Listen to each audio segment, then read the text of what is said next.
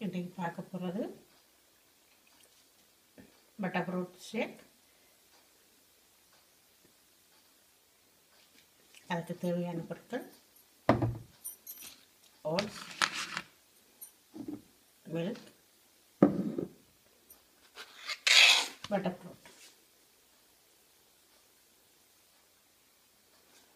okay இந்த மூணு தேவைப்படும். வேணுமெனா நீங்கள் சீனியும் போட்டுக்கலாம். பட்டப்பட்டை பட்டி ஓட்ஸையும் பாலையும் போட்டு நாங்கள் இப்போ பிளெண்ட் பண்ண போகிறோம் பாருங்க.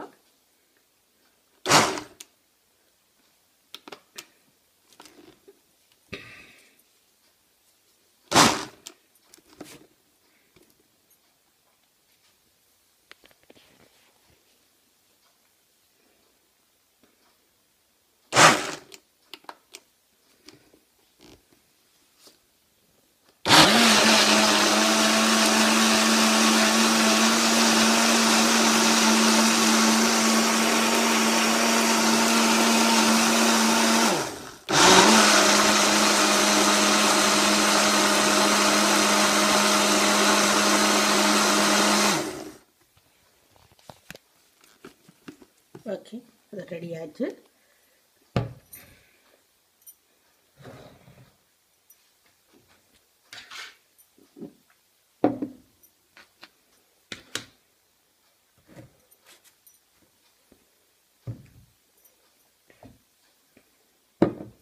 ஓகேயா நீங்களும் இதை செய்து பாருங்க ரொம்ப நல்ல டேஸ்ட்டாக இருக்கும் Okay. Thank you.